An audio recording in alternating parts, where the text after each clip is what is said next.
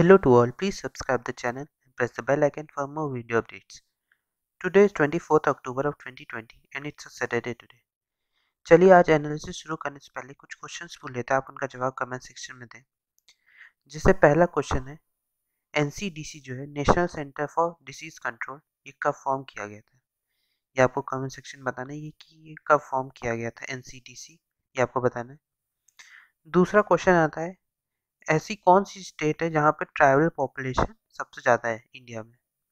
Tribal population किस state में सबसे ज़्यादा है ये आपको बताना है, स्टेट का नाम आपको बताना है। ये दोनों क्वेश्चंस का जवाब आप कमेंट सेक्शन में दें। जो कोई वीडियो देखे इसे तो क्या कहते हैं प्लीज़ इन आंसर्स को ज़रूर बताएँ। चलिए, आज की एनालिस शुरू करते हैं। आप हमारे टेलीग्राम चैनल को भी सब्सक्राइब कर सकते हैं। Question are two four seven ये डिस्क्रिप्शन पर दी हुई लिंक से जहाँ पर आपको सारे पीडीएफ नोट्स मिल जाएँगे। जो हम बात करेंगे पूरी एनालिसिस वो आपको वहाँ पे मिल जाएगी। साथ ही साथ हम लोग टेलीग्राम में आंसर राइटिंग भी करते हैं।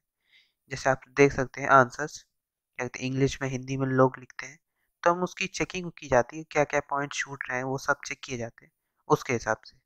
तो पर डे यहाँ पे क्वेश्चंस अपलोड होते हैं आंसर लिखे जाते हैं, जिनसे एक परफेक्ट आंसर बनाने की बात की जाती है। चलिए, आज की एनालिसिस शुरू करते हैं, पहली न्यूज़ देखते हैं हम लोग, चलिए। आज की पहली न्यूज़ आती है, Pakistan to stay on F F grey list 2021 क्या कहते हैं कि पाकिस्तान, क्या कहते हैं F A T F financial action task force की ग्रे लिस्ट में रहेगा 2021 तक, ऐसे इसमें कहा गया है। इसमें कहा गया कि financial action task force on Friday उन्होंने डिसाइड किया कि पाकिस्तान को ग्रे ग्रे लिस्ट में रखा जाएगा। कहा जा रहा था कि वो अपने जो जो वो क्या कहते हैं लोन्स हैं, उन्हें अगर फुलफिल नहीं करता तो उसे ब्लैक लिस्ट में कर दिया जाएगा। लेकिन अभी क्या कहते हैं उसे ग्रे लिस्ट में रखने की बात की गई है। फाइनेंशियल एक्शन टास्क फोर्स ने कहा है फ्राइडे को कि पाकिस्तान फ्रग ग्रे लिस्ट में रहेगा। तो हम लोग देख लेते हैं ग्रे लिस्ट क्या होता है एफएटीएफ का, ब्लैक लिस्ट क्या होता है, ये देख लेते हैं। एफएटीएफ क्या होता है, इसको देख लेते हैं। चलिए, अलग से देख लेते हैं। एफ़ एफ़ एक इंटर गवर्नमेंटल ऑर्गेनाइजेशन है, जिसे बनाया गया था 1989 में। इनिशिएटिव था जी सेवन कंट्रीज़ का, जो मनी लॉन्ड्रिंग प्रैक्टिसेस थी उनको कॉम्बैट करने के लिए। एफएटीएफ का जो सेक्रेटरीट है, वो उसका is house at the O headquarters जो ओ हेडक्वार्टर है पेरिस में, वहाँ पे है। इसमें थ्री प्लेनरी मीटिंग्स होती है in the course of each twelve month rotating presidency जो बारह महीने में प्रेसिडेंसी इसमें रोटेट करती है, उसमें तीन प्लेनरी मीटिंग्स होती रहती हैं। 2019 में F A T F consist of thirty seven member jurisdiction 2019 तक 37 मेंबर्स का जुरिडिक्शन था इसमें। क्या कहते हैं, ये सिर्फ़, ये India became an observer at the F in 2006 2006 से ही इंडिया ऑब्जर्वर था और क्या कहते हैं 2010 में India thirty fourth country member हो गया एफएटीएफ का। E e of F F E A G एक रीजनल बॉडी है जो कंप्राइज करती है नौ कंट्रीज़ की। India Russia China Kazakhstan Kyrgyzstan Tajikistan Turkmenistan Uzbekistan और बेलारस ये एक एसोसिएट मेंबर है एफ़ का। एफ़ ए टी एफ़ का रोल क्या होता है? ये ग्लोबल इकोनॉमी को राइज करना इंटरनेशनल ट्रेड बढ़ाना रिकमेंडेशन देना financial crime review member policies इन सब पे, इनको से लड़ने के लिए। बिकॉज़ मनी लॉन्डर्स और जो अदर टेक्निक्स हैं जो अवॉइड करती है apprehension the F D F updates is recommendation every five years की हर कुछ सालों में ये अपने रिकमेंडेशन को अपडेट करते हैं। इनकी ब्लैक लिस्ट और ग्लेयर लिस्ट क्या है ये देख लेते हैं। Black list black list means no call for call for action जो एक कॉमन शॉर्ट एंड डिस्क्रिप्शन है एफएटीएफ लिस्ट का। नॉन कोऑपरेटिव कंट्रीज़ और टेरेटरीज जो नॉन कोऑपरेटिव कंट्रीज़ और टेरेटरीज हैं, जिनके ऊपर क्या कहते हैं लोन्स हैं, बहुत ज़्यादा वो अपने फुलफिल नहीं कर रहे लोन वो जो कॉपरेट नहीं कर रहे बाकी कंट्रीज़ के साथ, उन्हें ब्लैक लिस्ट में रखा जाता है। ग्रे लिस्ट क्या होती है? ग्रे लिस्ट वो कंट्रीज़ होती हैं जो consider safe haven for supporting terror funding and money laundering ऐसी कंट्री जिन्हें कहा जाता है कि वो टेरर फंडिंग्स प्रोवाइड कर रही है टेररिज्म को और कहते हैं मनी लॉन्ड्रिंग कर रही है तो उनको ग्रे लिस्ट में रखा जाता है। तो ये दो होते हैं ब्लैक लिस्ट और ग्रे लिस्ट ये आप याद रखिएगा, कभी पूछा भी जा सकता है या आप क्या कहते हैं, इस तरह के अगर मेंस में क्वेश्चन आता है तो ये भी आप मेंशन कर सकते हैं उसमें। चलिए, अगली न्यूज़ देखते हैं हम लोग। अगली न्यूज़ आती Oli move on Nepal ma'am head set software इनकी कहते हैं जो प्राइम मिनिस्टर हैं नेपाल के। उन्होंने कल्पानी, जो कल्पानी इशू था, उस पर के पी शर्मा, जो ओली, जो प्राइम मिनिस्टर नेपाल के, उन्होंने अपना थोड़ा सॉफ्टवेयर हैंड दिखाया। उन्होंने दशहरा के शुभ अवसर पर क्या कहते उन्होंने जो अपनी ग्रीटिंग्स दी इंडिया को तो उसमें उन्होंने ओल्ड मैप दिखाया, ना कि नया मैप तो इससे माना जा रहा है कि वो एक सॉफ्टवेयर हैंड दिखा रहे हैं सॉफ्टवेयर स्टैंड उन्होंने लिया है, कि जो उन्होंने डिस्प्यूट था, कल्पानी इशू था, उसको रिजॉल्व करने की बात शायद हो रही है उनके। शायद कि वो बात करें इन फ्यूचर तो जिससे ये इशू जो था वहाँ पे, हमारे रिलेशन जो नेपाल के साथ थे जो पहले, फिर से वैसे हो जाए, ऐसा कहा जा रहा है इसमें। चलिए, अगली न्यूज़ देखते हैं हम लोग। अगली न्यूज़ आती है sharp rise in Punjab farm fires during kharif session आप क्या कहते हैं, दो खरीफ क्रॉप्स का नाम बताएँ। दो खरीफ क्रॉप्स का। क्या कहते हैं, आप खरीफ क्रॉप्स का नाम बताएँ। दो। चलिए, इसमें लिखा है कि जो पंजाब ने विटनेस किया एक शार्प राइज डबल बर्निंग का इंसिडेंट्स का, ये खरीफ सीज़न के कारण, जो पैडी हार्वेस्टिंग गेनिंग पेस है। जिस खरीफ सीज़न में क्या कहते हैं, बहुत ज़्यादा स्टबल बर्निंग हुई है, उसके कारण बहुत ज़्यादा डैमेज हुआ है, इसमें वही बात की गई इसमें यह भी कहा गया Punjab so far has seen 5282 more such cases this year this season last year कि लास्ट ईयर से ज़्यादा इस बार क्या कहते हैं, इतने केसेस ज़्यादा देखने को मिले पैडी हार्वेस्टिंग गेनिंग पेस का, ये जो स्टबल बर्निंग होती है उसका केस का। चलिए, अगली न्यूज़ देखते हैं। अगली न्यूज़ आती है work on new parliament to start in December कि जो नया पार्लियामेंट बनने वाला है construction likely to be completed by October 2022 कि जो कंस्ट्रक्शन है, उसका 2022 तक कहा जा रहा है कि उसका कंस्ट्रक्शन कंप्लीट हो जाएगा। तो उसका जो वर्क है, उस पर दिसंबर से स्टार्ट होने की बात की गई है। इसमें लिखा गया जो कंस्ट्रक्शन होगा नए पार्लियामेंट बिल्डिंग का उसका एस्टिमेटेड कॉस्ट 970 करोड़ रुपए बताया गया है। जो स्टार्ट होगा दिसंबर से और कंप्लीट होगा अक्टूबर 2022 तक। तो इसमें और ऐसा बताया officials of the housing and urban affairs ministry और जो सेंट्रल पब्लिक वर्क्स डिपार्टमेंट है, उनके जो ऑफिशियल्स हैं, उन्होंने इन्फॉर्म किया। लोकसभा स्पीकर ओम बिरला को ड्यूरिंग अ रिव्यू मीटिंग एक रिव्यू मीटिंग थी, उसमें उन्होंने ये बताया। जो एग्जिस्टिंग पार्लियामेंट हाउस रिसेप्शन है सिक्योरिटी ऑफिसर्स है पावर इंफ्रास्ट्रक्चर है या अदर फैसिलिटीज़ है, उनको शिफ्ट किया जाएगा to make way for the new building जिससे जो नई बिल्डिंग बनी है, फिर से बन सके। जो एग्जिस्टिंग पार्लियामेंट हाउस है building will be suitably retrofitted to provide more functional spaces for parliamentary events की वो, उसको और स्पेस प्रोवाइड किया जाएगा उसमें, जिससे जो और पार्लियामेंट्री फ़ंक्शंस होते रहते हैं, वहाँ पे अच्छे से हो सके। और क्या कहते हैं, नई बिल्डिंग के साथ इंश्योर किया जाएगा कि उसका यूजेस भी अच्छी तरह से हो, ऐसा ऑफिसर्स ने बताया। जो नई बिल्डिंग होगी, उसमें ऑफ़िस होंगे एम के भी ऑफ़िस होंगे चैम्बर्स होंगे, लोकसभा, राज्यसभा, क्या कहते हैं कॉन्स्टिट्यूशनल हॉल भी होगा कॉन्स्टिट्यूशन हॉल जो जिसमें original copy of the constitution MPs lounge library six committee rooms dining areas parking space ये सब होगा उसमें। चलिए, अगली न्यूज़ देखते हैं हम लोग। आज का पहला एडिटोरियल आता है taking on the centre state aggrieved by the central farm laws are adopting both legislative and legal measures. कि जो स्टेट्स हैं, जो सेंट्रल फॉर्म लॉज, जो तीन एग्रीकल्चर बिल्स पास हुए थे उन पे जो स्टेट्स हैं, वो अपने अपने तरह से एक्शन ले रहे हैं, लेजिस्लेटिव वे में और लीगल वे में। जैसे हमने देखा कि पंजाब का एफर्ट जो था, स्टेट अमेंडमेंट्स करके कि उन फार्म लॉज, क्या कहते हैं, पंजाब में लागू ना हो तो वो भी एक लीगल मेजर था और एक लेजिस्लेटिव मेजर्स भी था।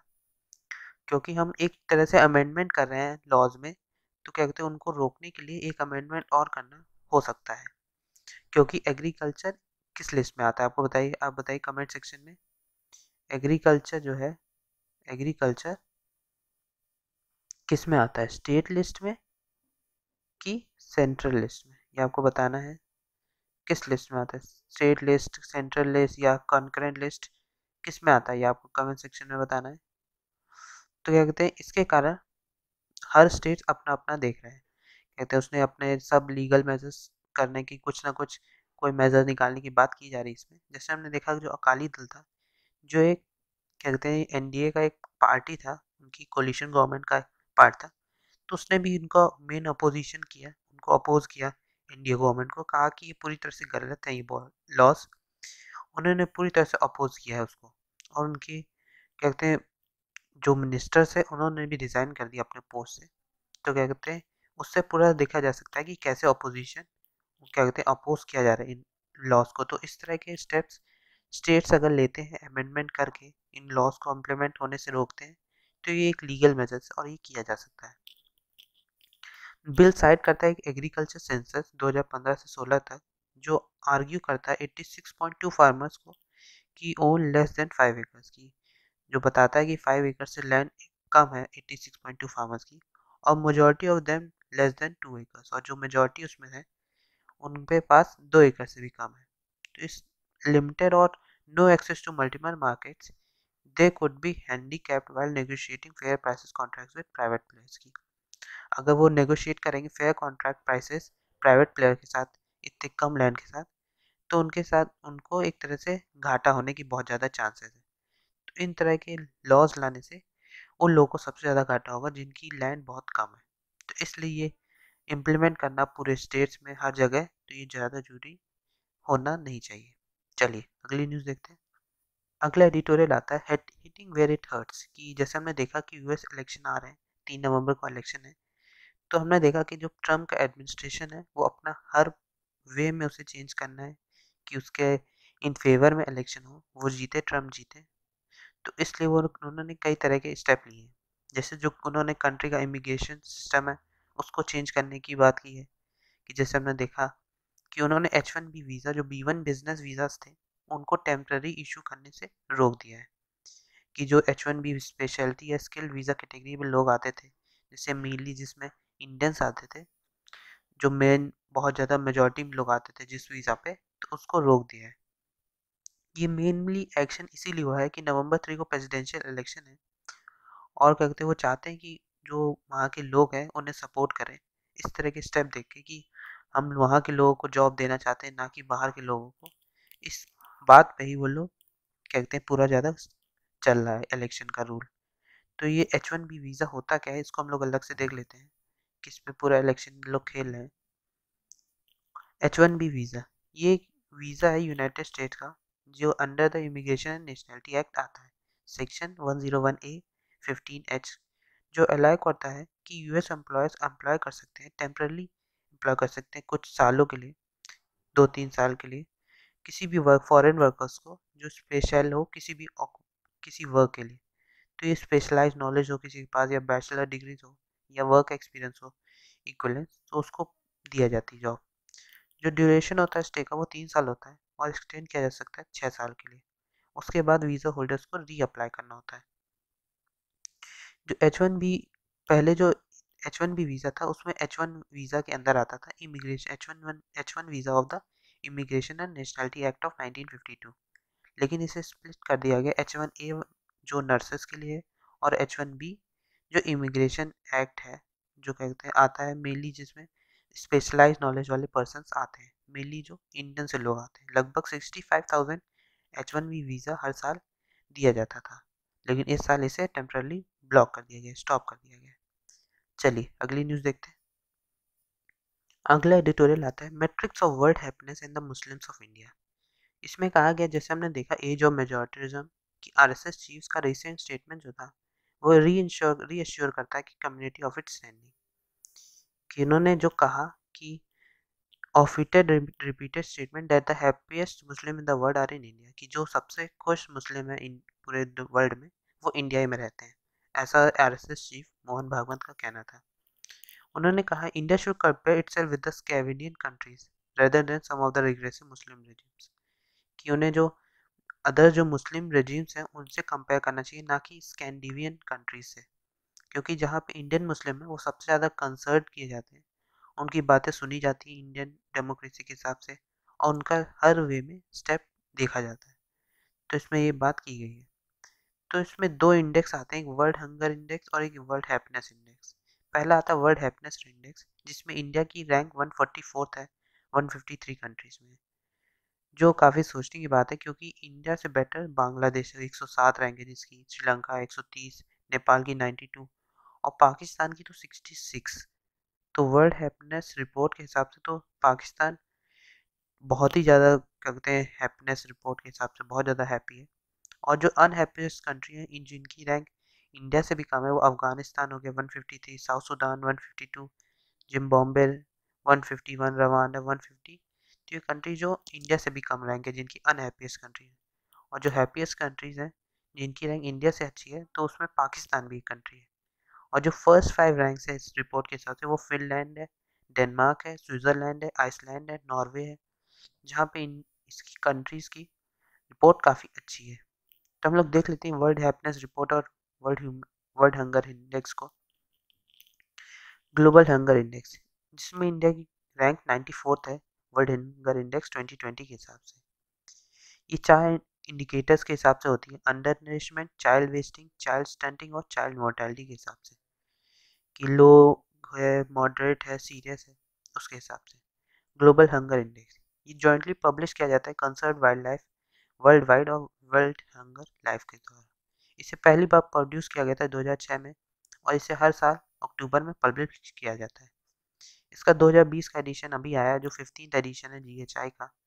इसका मेनली पर्पस होता है कि मेज़र करना और ट्रैक करना हंगर पूरा ग्लोबल रीजनल या कंट्री लेवल पे।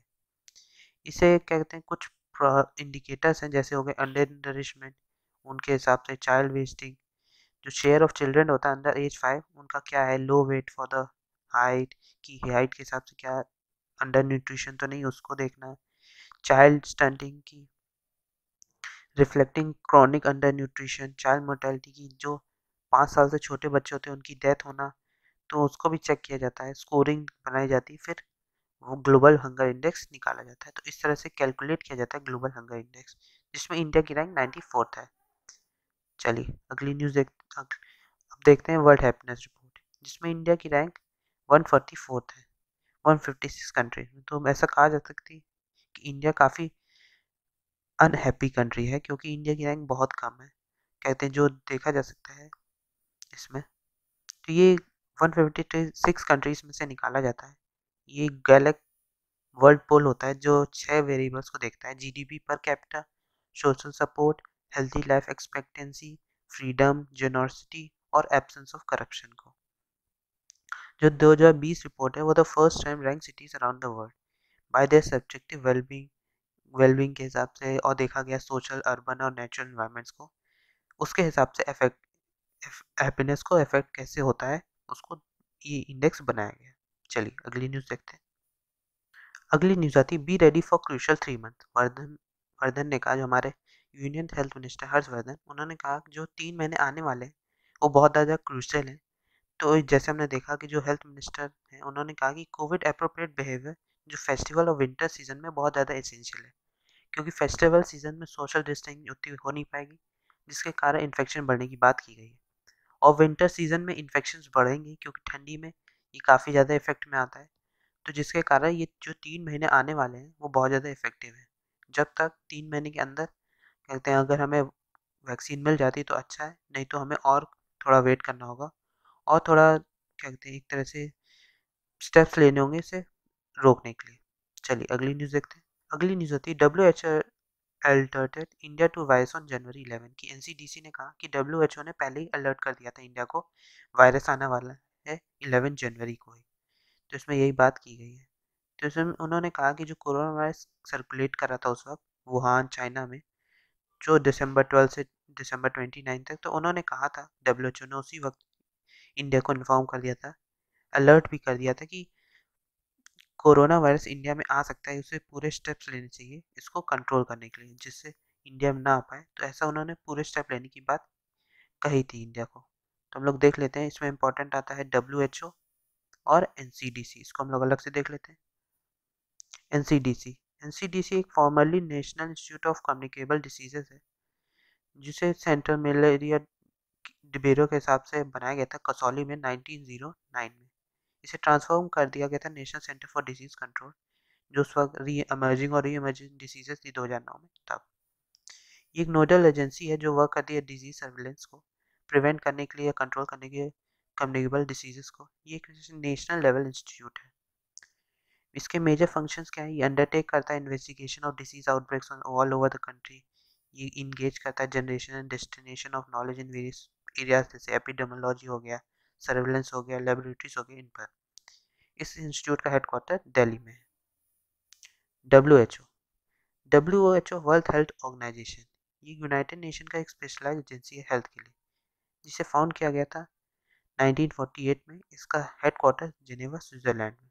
इसमें 194 मेंबर स्टेट्स हैं और इसके 150 कंट्री ऑफ़िस हैं। छः रीजनल ऑफ़िस भी हैं। डब्ल्यू एच ओ प्रोवाइड करता है लीडरशिप ग्लोबल हेल्थ मैटर्स में, जैसे shaping the health research agenda को शेप करने में। इसकी फंक्शनिंग शुरू हुई थी सेवन अप्रैल 1948 में। इसके ऑब्जेक्टिव्स क्या हैं? डायरेक्ट करना कोऑर्डिनेट करना authority on international health work establish करना मेंटेन करना इफ़ेक्टिव कोलेब्रेशन यूनाइटेड नेशन के साथ असिस्टेंट प्रोवाइड करना गवर्नमेंट को किसी भी हेल्थ इश्यूज़ पर, उस पर ये वर्क करती है। इसके फ़ंक्शंस क्या होते हैं? ये पॉलिसीज़ जो ऑर्गेनाइजेशन की उनको डिटरमाइन करना पॉलिसीज़ बनाना सुपरवाइज करना, उस पर रिपोर्ट्स प्रोवाइड करना economic and social council in accordance with any agreement जो पास हुआ ऑर्गेनाइजेशन यूनाइटेड नेशंस के बीच में तो उस पर ये वर्क करती है। चलिए, आज के लिए इतना ही। थैंक यू वेरी मच अगर आपने चैनल को सब्सक्राइब नहीं किया तो चैनल को सब्सक्राइब कर दें। और प्लीज़ लाइक बटन ज़रूर दबा दें। Thank you thank you very much